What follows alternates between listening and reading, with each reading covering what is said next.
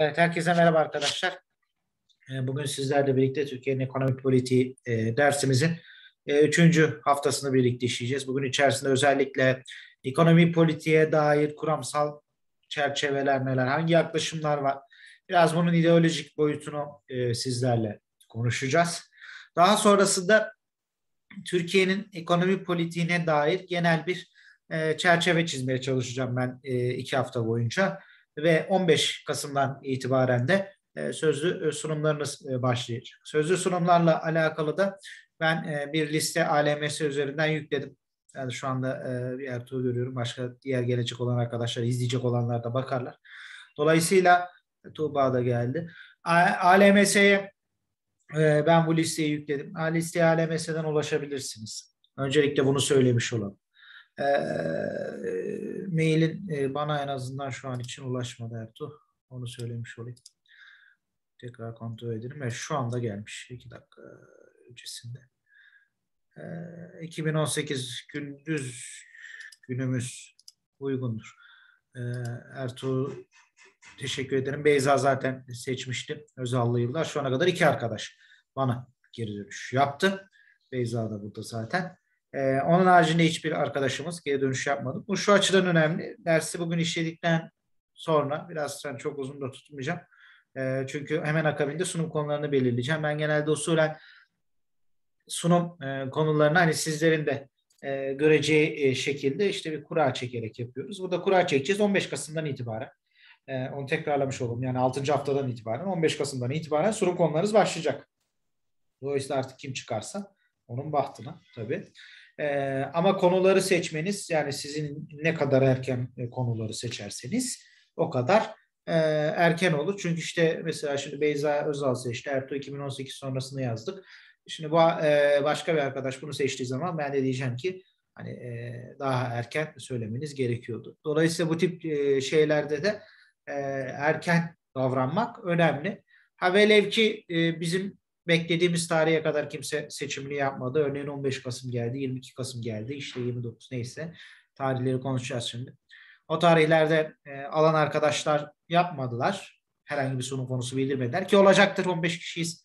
Gelmeyen de çok tahminimce olacaktır. Şaşırmam. E, dolayısıyla bu durumlarda da ben anlatacağım. E, hani olmayan e, konuları e, sırayla en azından ya da işte belli aralıklarla onları ben size aktarmaya çalışacağım arkadaşlar. Hani üzerinden geçeceğiz. Ama dönemsel olarak hani spesifik bir sınırlandırma yapmayacağım. Yani işte Osmanlı'dan günümüze kadar normal müfredatta öyle ama e, dediğim gibi hani e, bu noktada bunu yapabilmemizde e, çok e, şey değil. Herkesin de istediği konuyu seçmesini istiyorum yani. E, zevkle en azından çalışacağı konuyu seçmesini istiyorum. Dolayısıyla hani bir zaman 2018 inceleriz, bir hafta bir başka e, dönemi e, inceleriz. Tuğba mailin gelmedi e, ama 70'li yılları da sana yazmış olalım üçüncü olarak. Teşekkür ediyorum. Herhangi bir sıkıntı yok. E, dolayısıyla bu çerçeve e, üzerinden dersi e, işleyeceğiz. E, dersin işte çeşitli dönemleri, farklı farklı dönem aralıklarını farklı zamanlarda işleyeceğiz. E, yani sırayla işlemekten ziyade dediğim gibi hepinizin kendi istediği konuları e, açıkçası almasını istiyorum.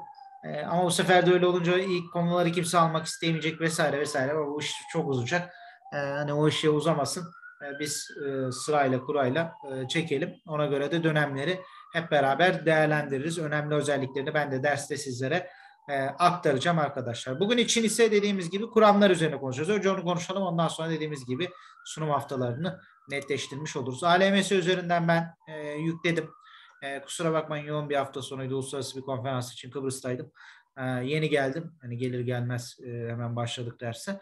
E, dolayısıyla biraz geç olmuş olabilir. Ama çok böyle detaya yoğunlaşacağınız bir makal değil. Daha genel çerçeve. Çünkü ben daha ziyade konuşmak istediğim bu derste özellikle tartışmak istedim. Hani bugün de baktığınızda e, ki konuşuruz günümüzde de oldukça önemli olan ekonomik politik yani iktisadi kurumlarla siyasi kurumlar arasındaki bağlantılar, ilişkiler bunlar üzerine konuşacağız. Dolayısıyla teorik e, çerçeveyi e, evet Ertuğrul sorabilirsin. Teorik çerçeveyi e, bu çerçeve üzerinden e, değerlendireceğiz. Yani çok detayına girmeden geçtiğimiz hafta işte tarihsel e, süreci sizlerle konuştuk. Bu bugün içerisinde de kuramlar üzerinden sizlerle e, genel bir e, değerlendirme e, yapacağız.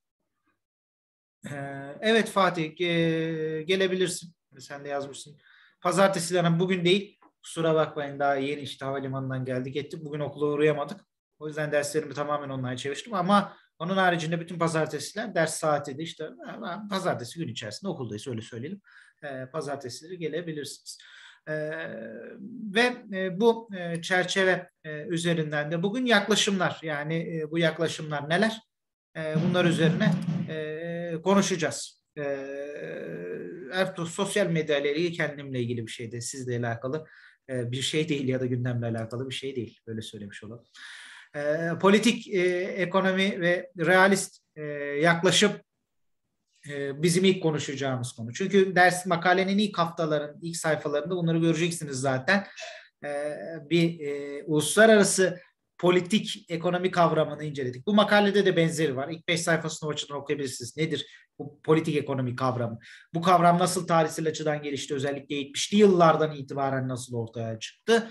Ee, bunların hepsini anlattı. Geçtiğimiz haftanın dersi de YouTube e, üzerinde zaten mevcut. Oradan da takip edebilirsiniz. Tekrar izleyebilirsiniz.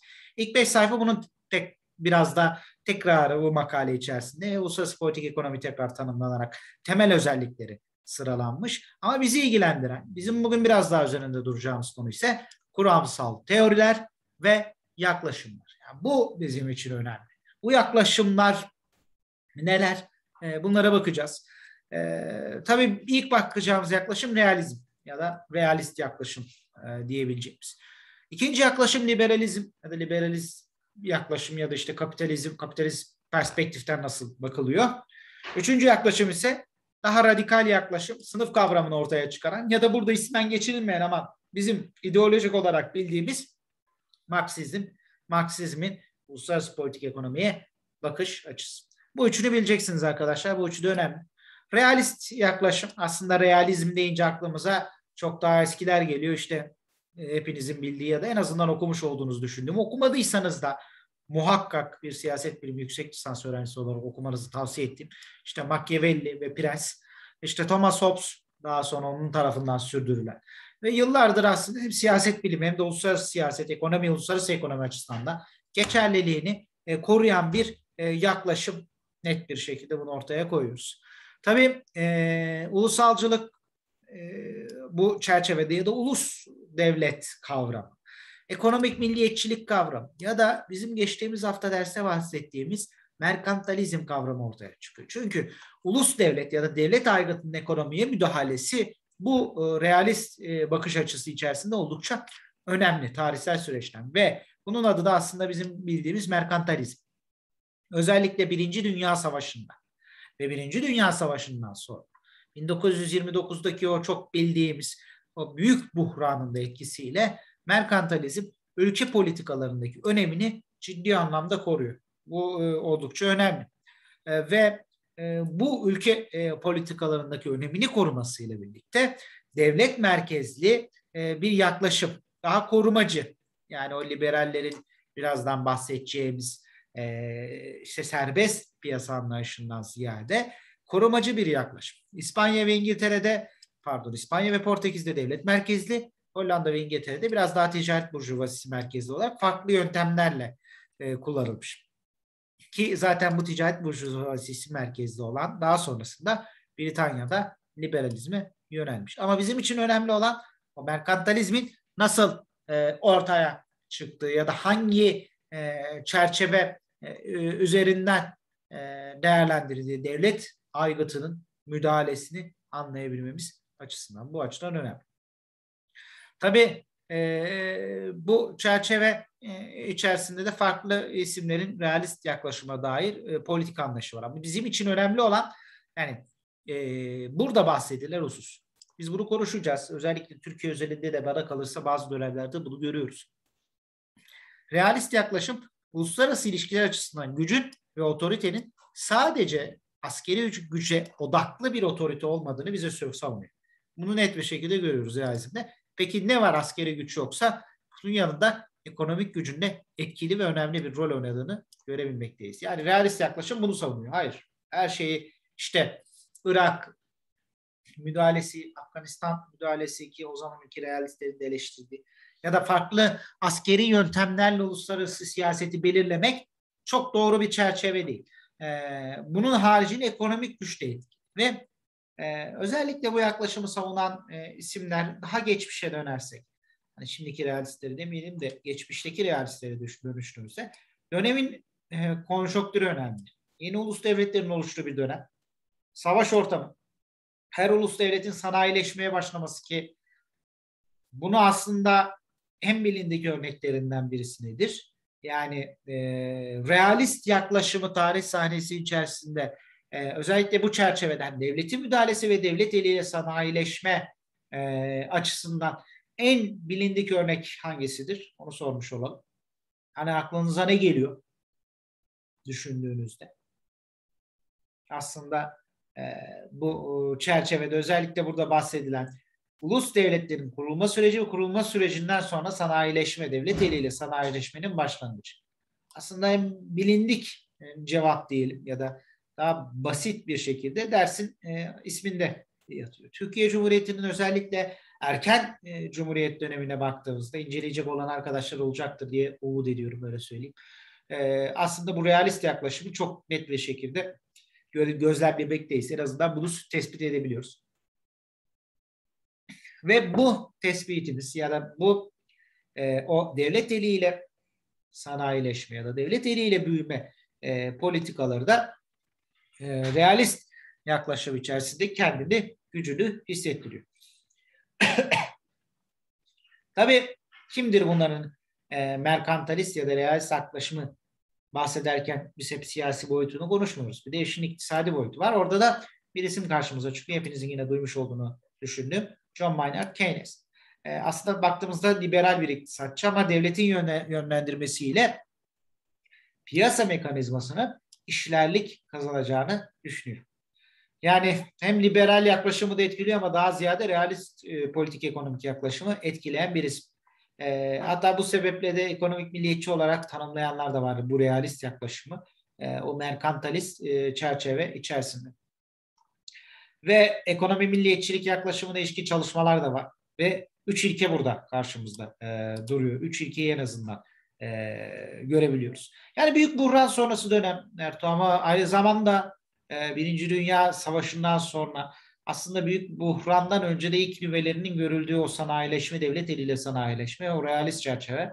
Hani Atatürk dönemini takip ederseniz ya da inşallah inceleyecek olan arkadaşlar olur. E, 1923-29 arası dönem oldukça işte devlet ili İzmir İktisat Kongreleri ki konuşacağız eğer hani sunum yapacak olan olmazsa biz konuşacağız. Burada görüyoruz ki büyük buhrandan sonra Türkiye de bundan etkilenecek e, ve bu sanayileşmeyi daha da hızlı bir ivmeli bir şekilde devlet eliyle yapmaya e, en azından e, çalışacak. Konuşacağız. Kalkınma planları bahsettiğim gibi diğerlerinin hepsinde e, detaylı bir şekilde değerlendireceğiz. Üç ilke vardır dedik. Ulus ekonomisini verimli kılmak devletin görevidir. Ekonomik açıdan ulusun ortak bir kaderi vardır ve ekonomik politikaları ulusun çıkarlarını yönlendirmektedir. Şimdi bu üçü bizim bildiğimiz aslında Türkiye'de de Cumhuriyet'in erken döneminde de gördüğümüz bir e, anlayış.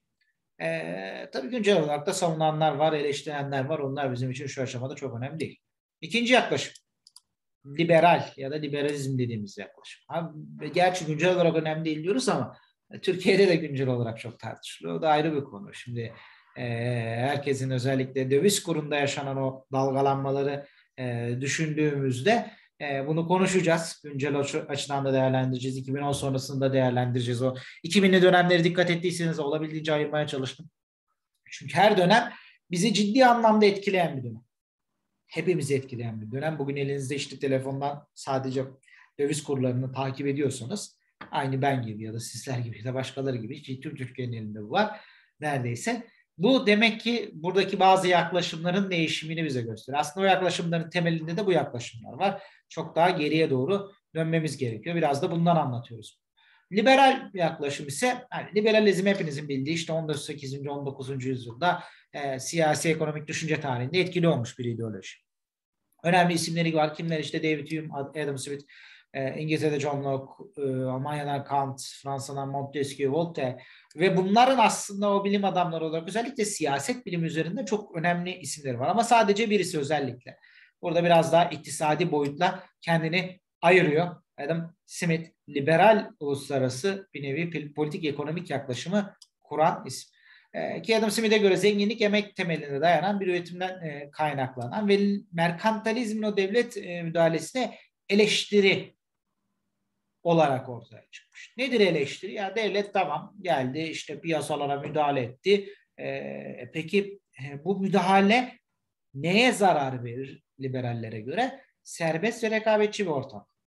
Dolayısıyla onların isteği aslında serbest ve rekabetçi bir piyasa ortamı oluşursa, devlet müdahalesi aza indirgenirse ve e, bu müdahale ancak minimum seviyede olursa yani çok büyük bir sorun ya da işte e, çok büyük bir sıkıntı olduğu vakit devletin işte burada görünmez el dedikleri e, kavram ile müdahalesiyle ekonomik büyüme olur. Ama onun haricinde devlet kalkıp bütün alanları sanayi, tarımı, diğer alanlara müdahale etmeye başlarsa o zaman ortada bir ekonomi büyüme olmaz. Çünkü o ekonomik büyümeyi sağlayacak olan serbest ve rekabetçi bir ortam oluşmaz. Temelde bu eleştiri üzerinden e, gidiyoruz. En azından gidiliyor diyelim, gidiyoruz demeyelim.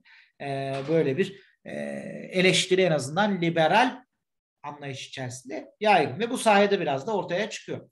Ve devletler de aslında e, bizim e, çizdiğimiz e, çerçeve e, içerisinde e, piyasanın olabildiğince serbestleşmesinden e, ciddi anlamda e, faydalanmalı ya da bu şekilde politikasını gütmeli liberal anlayışa göre. Tabii e, bu akım içerisinde de e, yine güncel açıdan da baktığımızda e, özellikle bu bizim uluslararası ticaret kavramı, uluslararası ticaretin serbest bir hal, hal alması, işte devletlerin bundan faydalanması, savaşlar, çatışmalar, e, bütün bunlar günceliyle ilgili. İşte özellikle 70'lerden itibaren işte Kihone ve Joseph Nye ortaya çıkardı ki önemli isimlerdir. E, Power ve Interdependence dedikleri kitap güç ve karşılıklı bağımlılık teorileri üzerinden e, bir çerçeve çizmeye çalışmışlar.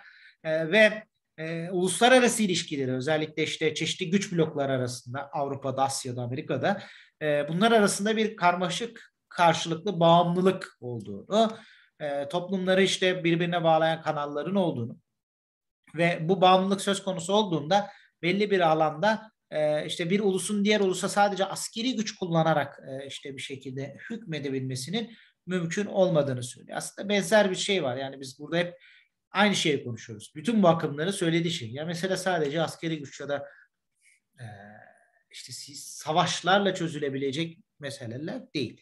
Bunun haricinde işin bir de ekonomik boyutları var, ekonomik bağımlılıkları var e, farklı boyutlarıyla liberalistler farklı bakar, liberaller pardon, realistler farklı bakar, marksistler farklı bakar ama iktisadi açıdan o politik ekonomi kavramı içerisinde hepsinin söylediği aynı ortak bir şey var. Mesela askeri güç değil. Mesela sadece işte savaş veyahut da e, bu çerçeve üzerinden yürütmek değil. Bu açıdan önemli. Bunu unutmayın. E, ortak bir özellik olarak baktığımızda.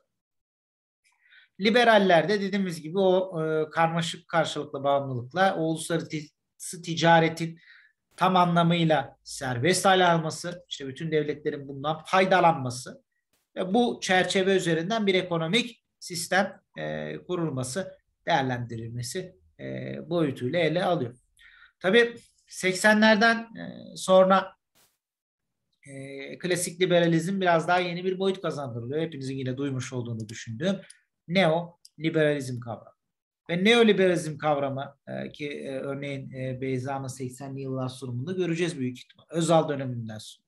Türkiye'de çok etkilendi. E, yine biraz daha işin e, evrensel boyutuna baktığımızda işte e, bir tarafta e, Reagan dönemi, e, daha sonrasında İngiltere'de Margaret Thatcher dönemi. E, yeni bir akımın ortaya çıktığını biz görüyoruz. E, ve e, bu akım e, Amerikan hegemonyasıyla birlikte yeni bir dünya düzeni e, ideolojisini ortaya koyuyor. Nedir bu e, düzen? Küreselleşme ve e, küreselleşmeyi de devletlerin uyum sağlamak zorunda kaldıkları bir zorunluluk alanı, alanı olarak görülüyor.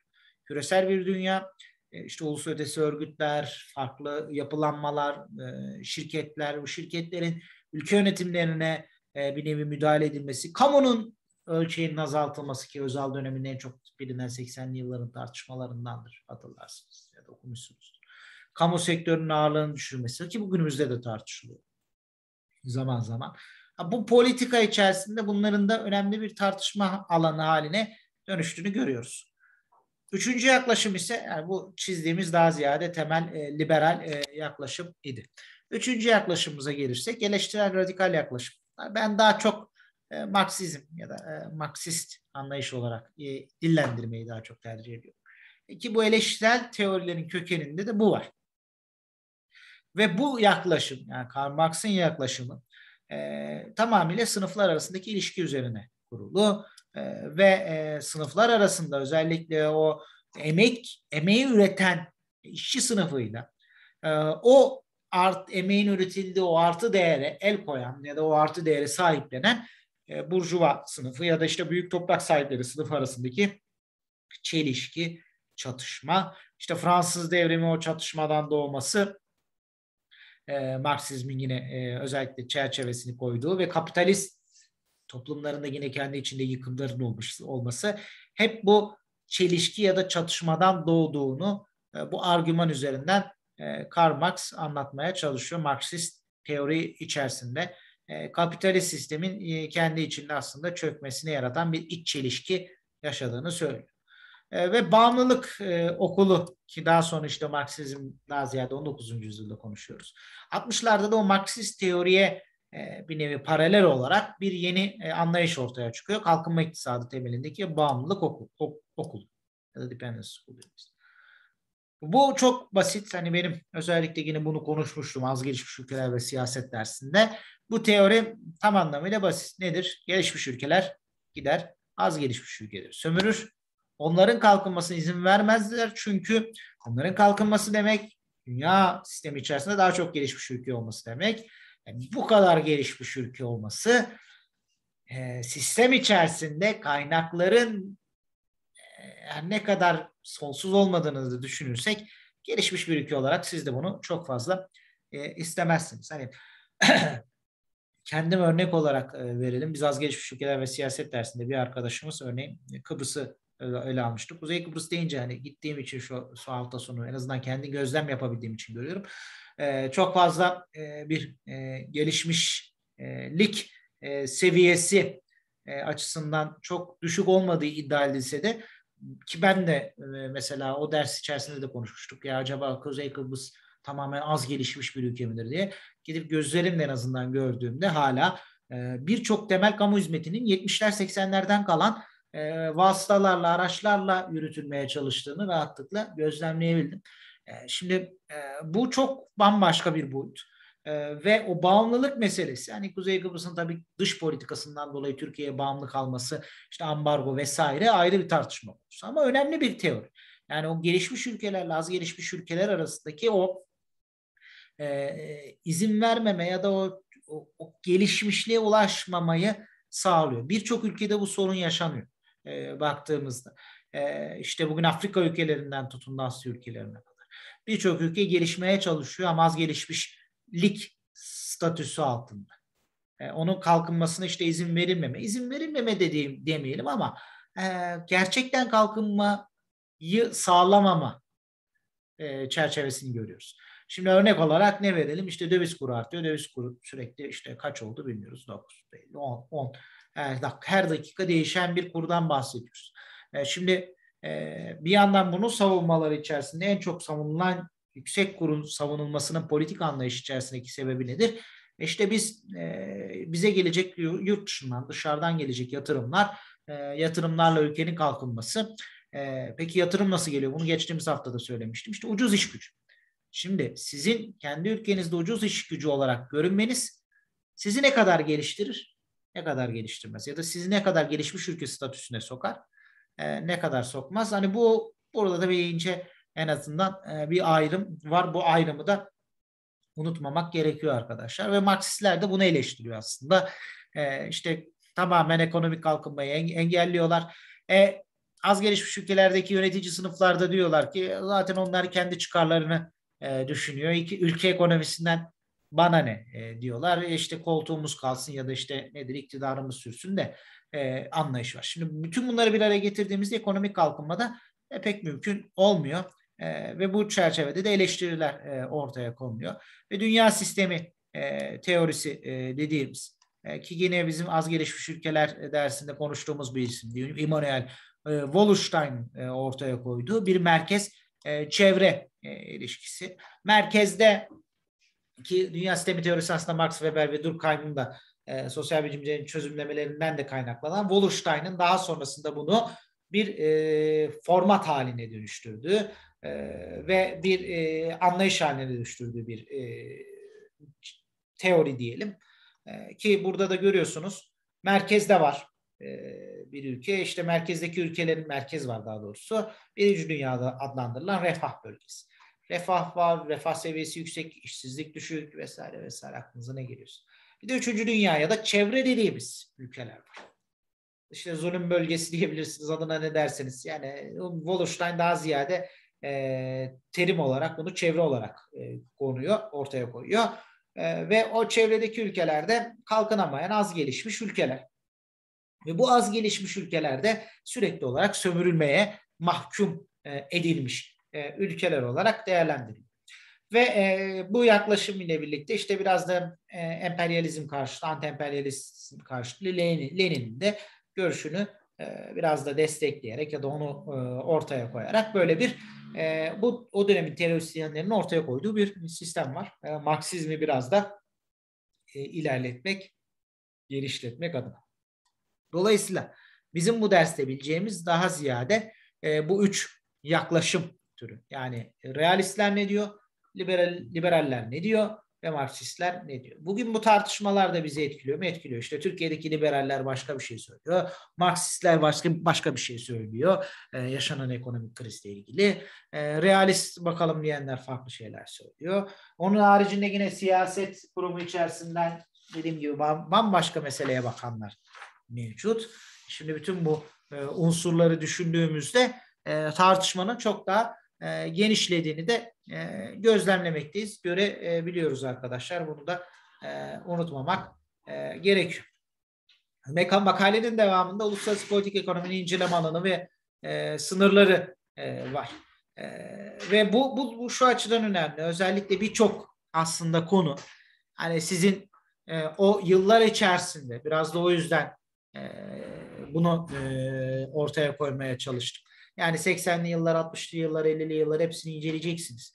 Ya da işte farklı zaman dilimlerine bakacaksınız. Ve bu zaman dilimlerinde birçok konu aslında politik ekonominin inceleme alanına giriyor. Yani işte uluslararası para politikalarından tutun da çok uluslu şirketler, krizler, enerji politikalarından tutun da iç politikalardaki dediğimiz gibi etkiler, işte burada somut bir olay olarak Körfez Savaşı verilmiş, Körfez Savaşı'nın ekonomi üzerine sonuçları. Türkiye'de de zaman zaman yaşanan ciddi değişimler, dönüşümler doğrudan ekonomiyi de etkiliyor. Hani biz günümüzü belki çok daha net bir şekilde hissediyoruz ama geçmişte de Türk siyasi tarihinde de e, aslında geriden itibaren e, benzer bir durum söz konusu. Dolayısıyla e, birçok farklı açıdan ele alabilirsiniz. Yani ben size e, onu da ifade etmiş olayım. Sunumlarınızda bu dönemleri inceleyin dedim ama bu dönemlerin tamamen iktisadi e, alanını incelemeniz zaten sunum vaktine yetmeyecektir, yetmezdi. Yani e, bu açıdan baktığımızda ama somut belli başlı özelliklere odaklanabilirsiniz ya da belli başlı politikalara odaklanabilirsiniz. İşte e, o dönemki çok uluslu şirketlerin rolünden tutun da işte para politikaları ya da iç politikayla etkilerinden tutun da dış politikaya olan bağlantıları, e, ekonomiyle olan ilişkileri, neden sonuç ilişkileri. Bütün bunlardan herhangi birisini o döneme dair inceleyeceksiniz. Benim spesifikleştirdiğim sadece dönem. E, döneme dair ne inceleyeceğiniz biraz da sizlere kalmış ama burada bahsediliyor birçok farklı pencereniz var. Yani kullanabileceğiniz farklı pencereler var. E, sunum süresi içerisinde zaten bir 25-30 dakikalık bir sunum istiyoruz. O e, bu farklı e, pencerelerden herhangi birisini inceleyebilirsiniz. Yani uluslararası politik ekonomi ya da biz politik ekonomi diyelim direkt e, bu alanları inceliyor. Ve işte Örneğin Arap Baharı, yani biraz daha evrensel bakıyoruz şu anda. Arap Baharı'nın işte Amerika'nın o dönemki projesi ya da hegemonya kurma çabaları, buna yönelik eleştiriler ve baktığımızda bunun eleştiri içerisinde uluslararası ekonomi eleştiriler de söz konusu. Ee, işte Amerika'nın politikaları, arka planda iktisadi açıdan, bölge coğrafyasından e, ne kazanacak? İşte petrol gelirlerinden tutun da farklı şeylere kadar. Bu demokratikleşme hareketleriyle nasıl bir bağlantısı var mesela? Bu bir alandır, inceleme alanıdır. Ha, direkt para politikası krizlerine girerseniz mesela 2008 Euro e, krizi ki Euro krizi de siyaseti doğrudan etkileyen o dönemde. E, hatta Yunanistan'da iktidar değişikliğine yol açan o dönemde Yunanistan'ın girmiş olduğu o büyük e, kriz e, içerisinde. E, bunu da mesela bir başka e, çerçeve e, özelinde örnek olarak e, verebiliyoruz arkadaşlar. Bunu da e, en azından e, söylemiş olur. İnceleme alanı burada tablo olarak da sizler görüyorsunuz. İnceleyebilirsiniz bu politik ekonomi arasına giren. Bizim için önemli olan arkadaşlar şurası. Yani politika ve ekonomi bağlantısı kopmadığı sürece orada inceleyeceğiniz çok konu var. Döneme dair spesifik bir ekonomik krizi inceleyebilirsiniz. 90'lı yıllar alan olmadı. 94 krizi ilginçtir Türkiye'de. Şubat 94 krizi örneğin. Tansu Çiller dönemi. Yani dediğim gibi konu içeriğini tamamıyla bu çerçeve içerisinde sizlere e, bırakıyorum.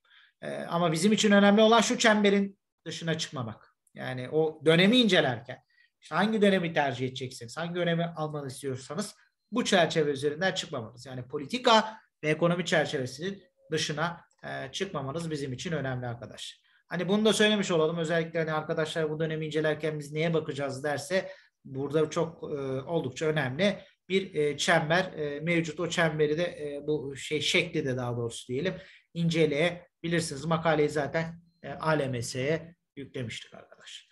Bu makale için önemli olan hususlar, benim biraz daha üzerinde durmaya çalıştığım hususlar e, bunlardan ibaret. Bu üç akımı bileceksiniz. Realist, liberal ve e, Marksist bakış açısı ve uluslararası politikanın inceleme alanları özellikle sizin tezleri, tezleriniz diyorum pardon, ödevleriniz yani sözlü sunumlarınız için oldukça önemli olacak. Herhangi bir e, sorusu olan bu esnada.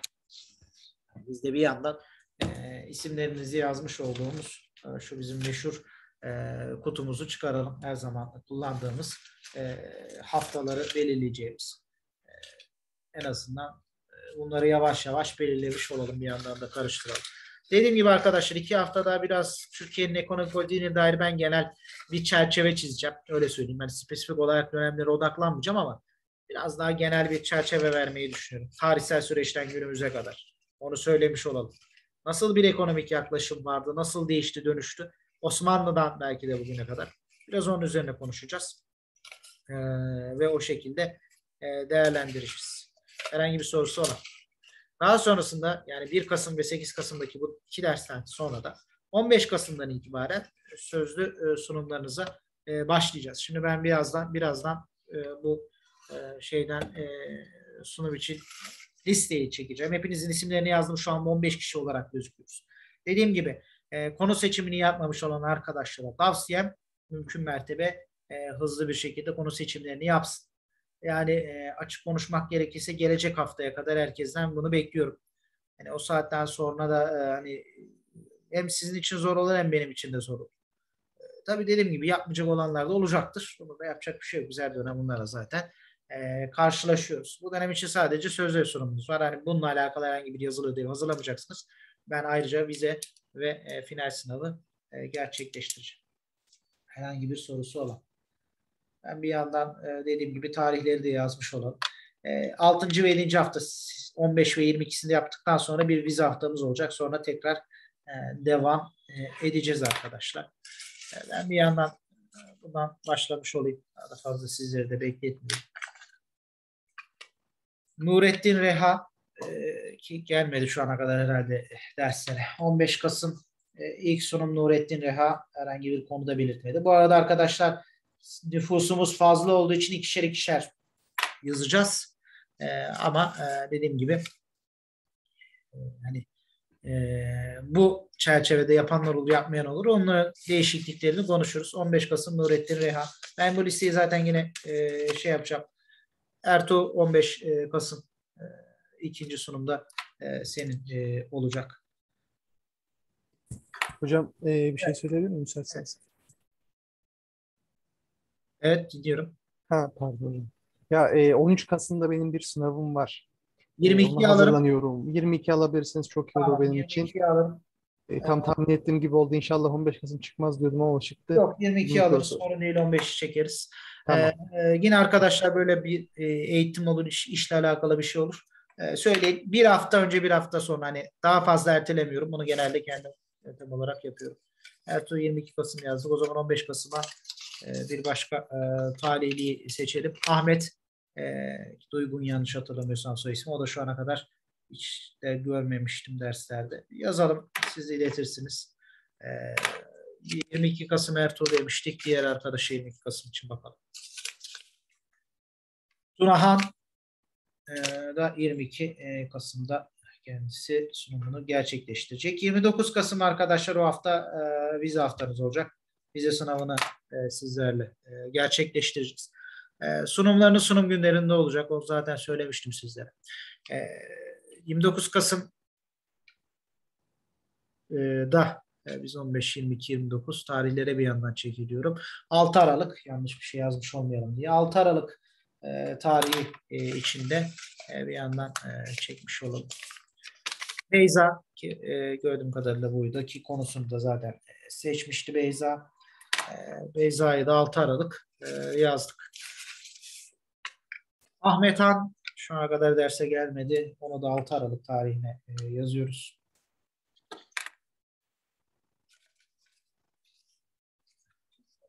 Gürkan e, 13 e, Aralık tarihi içerisinde de e, Gürkan'ın e, sunumu e, olacak ilk olarak e, ilk isim olarak vereceğimiz. Ergül'ü o da şu ana kadar derse hiç görmedim. O da 13 Aralık tarihinde olacak. Dediğim gibi ben bunları bir listeli hazırladıktan sonra zaten yollayacağım. 20 Aralık Murat buradasın zaten gördüğüm kadarıyla. E, 20 Aralık tarihte e, Murat olacak e, sunum haftası olarak. E, Mustafa ki şu ana kadar kendisini de hiç görmedim diye hatırlıyorum. Orada 20 Aralık yazıyoruz. Daha sonrasında Mehmet Fatih o da burada zaten 27 Aralık tarihi Mehmet Fatih sunum haftası olarak görüyorum. Muhammed onu da hiç gördüm mü görmedim diye hatırlıyorum. Çok fazla gelmek gelen olmadı ama biz yine de yazalım arkadaşların isimlerini. Ee, Daha sonrasında ise e, 27 Aralık'tan e, sonra tarihleri tekrar çekeyim. 3 Ocak tarihinde Tuğba burada gördüğüm kadarıyla e, Tuğba e, yapacak. Ki onun da konusunu az önce e, seçmiş olduk. Mehmet e, Kılıç e, ki kendisi de şu ana kadar hiç e, derste olmadı. Kılıç ve son bir kişi de 10 Ocak e, tarihi itibariyle onu da e, buradan açalım. Ali o da geçen hafta buradaydı galiba ama 10 Ocak tarihi de Ali'nin sunumu gerçekleşecek. Dolayısıyla arkadaşlar 10 Ocak e, derslerin bitişi zaten 22 Ocak, 17 Ocak'ta ben bir genel değerlendirme dersi yaparım. Son ders, bunu söyleyeyim. E, genelde son dersi bırakıyorum. E, genel bir değerlendirme e, dersi yapıyoruz. Hani umuyorum eksik kalmamıştır. Şimdi 2, 4, 6, 8, 10, 12, 14, 15 kişi bu şekilde sunum günlerini belirlemiş olduk. Sunum günleriniz dediğim gibi önemli bir sorun çıkarsa bana öncesinden, belli bir gün öncesinden söylerseniz bir hafta örteye ya da bir hafta geriye e, koyabiliriz. Bunu da söylemiş olalım. Kendi aranızda tarih değiştirmek isterseniz de bana bir mail atarsanız e, hocam biz tarihleri değiştirdik diye herhangi bir sıkıntı olmaz. Ama onun haricinde bu tarihler net arkadaşlar. Bundan sonrası sizlerin ki yani şu ana kadar 3 konu seçimi aldım. E, sizlerin e, bir nevi e, tercihi ki bunları da yazalım. Ertuğ 2018 sonrası demiştik ki zaten yakın zamanda konuşacağız. E, Beyza 80'li yıllar özel dönemi demişti ve Tuğba da 70'li yıllar olarak bana iletti. Şu ana kadar bana gelen konu bilim bildirimleri. Hani bu konuları seçemiyorsunuz arkadaşlar. Arkadaşlarımız önceden söylediği için. Geri kalan konular, konu listelerinin hepsi alemesinde mevcut. 15 konu var. Zaten sınıf mevcuduna göre ayarladım. Ee, dediğim gibi gelmeyenler olacaktır. Onları da ben anlatacağım. Onlardan da sorumlu olacaksınız. Ee, tabii final, özellikle final zamanında. Gelmeyenler olduktan sonra yani şunu söyleyeyim. 15 Kasım zaten son tarih. Yani ben mümkün mertebe haftaya kadar herkesin bana konu bildirmesini istiyorum. Ama yani taht kalktı işte Kasım'ın ortasında hocam ben şu konuyu seçeceğim. O mümkün olmaz. Hani bunu önceden söylemiş olayım. Benim hassasiyetle üzerinde durduğum tek mesele nihayetinde sunumlar. Sözlü sunumlarınızın olduğu günler ne yapacaksınız, ne edeceksiniz, izin alacaksınız artık nasıl yaparsınız onu bilmiyorum. Normal koşullarda devamlı zorunluluğu tutmuyorum zaten farkındaysanız. işte kaydediyoruz, YouTube'dan izliyorsunuz ama sözlü sunumlarınız olduğu gün e, burada olacaksınız. Dileyen dediğim gibi sözlü sunumlarını video sunum çekebilir. 25-30 dakikalık işte evde hazırladığı bir video ya da nerede istiyorsa orada hazırladığı bir video sunumu bana yollayabilir bir gün öncesinden pazar günü yani. Veyahut da dileyen hani ben bunu bu sefer opsiyon olarak sunayım. Hani canlı yapmak istiyorum hocam ben çekemiyorum ya da imkanım yok. Canlı yapsam daha iyi olur vesaire diyen olursa da onlara da canlı yayın esnasında söz veririz. Sunumlarını gerçekleştirirler. Ama her halükarda ben o sunumları o gün içerisinde değerlendireceğim. Sorularımı soracağım. Arkadaşlarınız içerisinde de yine soruları olan varsa sorularını bana iletecekler ve sunumu da bu şekilde değerlendirerek yani dönemi değerlendirerek ekleyeceğimiz şeyler varsa ekleyerek tamamlayacağız. Herhangi bir sorusu olan.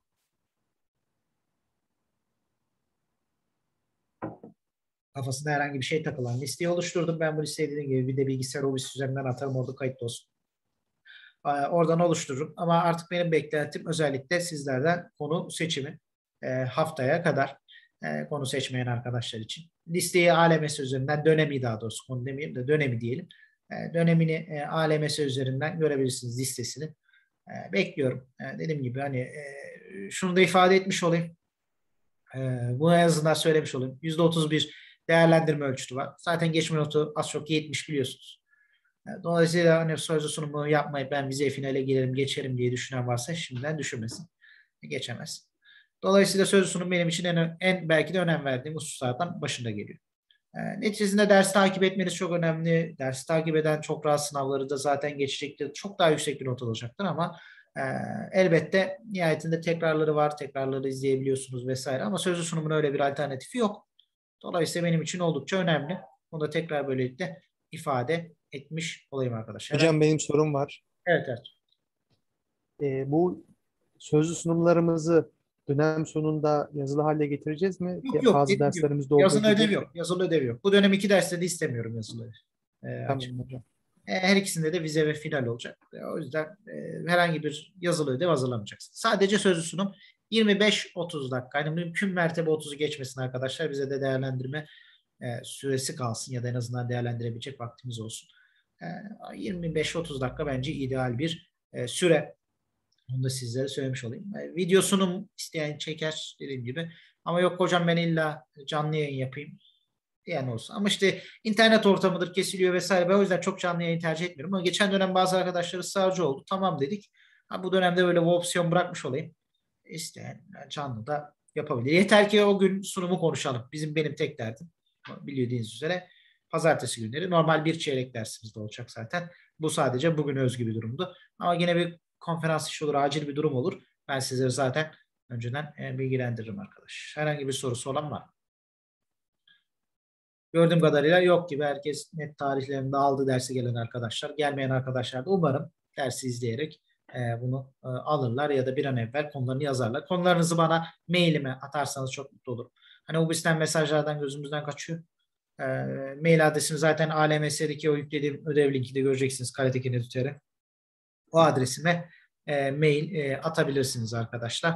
Tamamdır Fatih. Dediğim gibi e, belirlediğinizde bana gönderirseniz ben de ona göre hani onları not alıyorum ki e, çat, çat, çakışma durumu olmasın. E, çok teşekkür ediyorum. E, herhangi bir e, sorusu olan mevcut değilse e, bugünkü katılımınız için tekrar teşekkür ediyorum. Önümüzdeki hafta dediğim gibi 13-15'te e, yine olacağız. E, dileyen arkadaşlar yüz yüze odama da gelebilir. Yani onu hep söylüyoruz zaten. E, pazartesi günleri okuldayım ama 13-15'te biz yine online Zoom üzerinden de dersimizi yine sürdürmeye devam edeceğiz. Bugün biraz böyle bir e, ufak bir gecikmeyle başlamış olduk. E, katıldığınız için e, teşekkür ediyorum. Makaleyi de okursunuz özellikle bugün vurguladığımız yerleri. Haftaya e, biraz daha Türkiye ekonomi politiği üzerine biraz giriş yapacağız. Biraz konuşmaya başlayacağız. Sonra da zaten yavaş yavaş sizler sunumlara 15 Kasım itibariyle başlayacaksınız arkadaş. Teşekkür ediyorum tekrardan. Ee, sağınıza saatiniz her zaman gibi dikkat edin. Önümüzdeki hafta bir aksiyon olması pazartesi 13-15'te tekrar görüşmek üzere. Çalışmalarınızda kolaylıklar diliyorum.